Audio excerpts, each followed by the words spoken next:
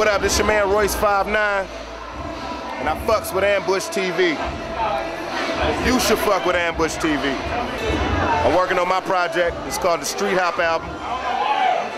At the same time, I'm working on the Slaughterhouse project, that's myself, Joe Budden, Crooked I, and Joel Ortiz. We're working on that right now. We're gonna try and put that, that album out right after we all drop our own album.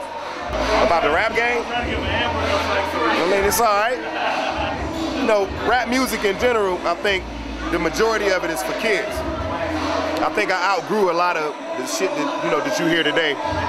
A lot of it I can't get into, but I don't look down on it, I don't diss it, I just do what I do. I like, I, I, I'm a firm believer you gotta stay in your lane, you know what I'm saying? I don't have like a lot of opinions on, on rap in general.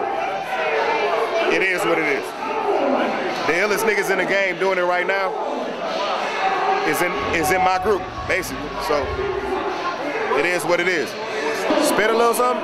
Man, I'm too drunk. I can't rhyme. I can't rhyme, but y'all catch me next time. MC's coming up. My words of inspiration to you would be try to be consistent with whatever you do. Just be consistent. Be prepared when the opportunity presents itself. When preparation and opportunity mix, then you're dealing with something. You know what I'm saying? Don't fuck around. You know what I'm saying? Just get in the studio, stay in the studio. Don't be worried about these bitches. Don't be worried about nothing but that money and that work. You gotta treat this shit like a job. You can't treat it like you a rock star already. Rock stars party and shit like that, but they do their job. You gotta understand that it's a job.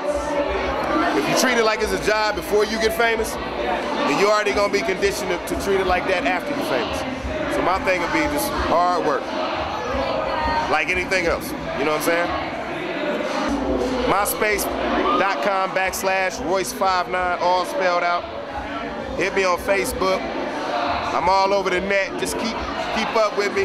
Canada, I love y'all. Thanks for all the love and support. Out.